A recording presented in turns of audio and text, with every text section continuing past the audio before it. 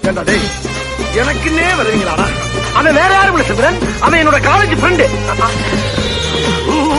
ஏன்ட்ட சரசம் பண்றக்கே வாட்டாப்பே உங்களை பத்தி சொல்றாங்களா புரிஞ்சுக்க மச்சான். ஏய் அறிகிட்டவனே பரதேசி